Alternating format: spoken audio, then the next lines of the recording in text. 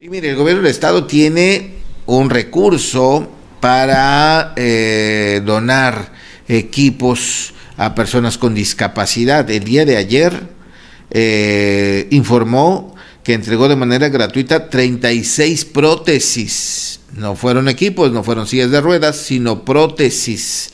Eh, entre prótesis de tipo ocular, miembro pélvico y externas de mama. Estos, estos eh, aparatos o estas prótesis se entregaron a personas de escasos recursos de diferentes municipios.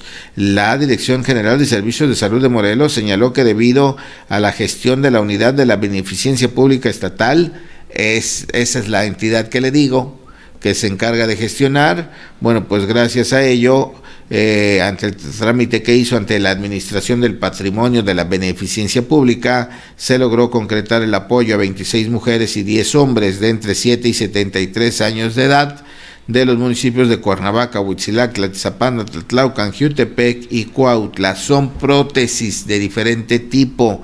La Dirección General de Servicios de Salud dice invita a la población que necesite alguno de estos apoyos que son gratuitos que se acerquen a su centro de salud más cercano para que el personal sanitario realice una valoración. Además, puede consultar la página web de Servicios de Salud Morelos, eh, diagonal beneficencia, o llamar al teléfono 777-314-5581. Ahí le van a decir cómo puede obtener una de estas prótesis gratuita en caso de requerirla, de esta o de otro tipo, u otro aparato funcional también.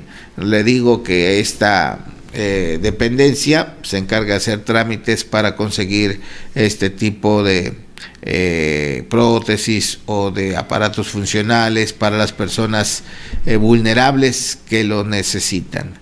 777-314-5581 es el número telefónico.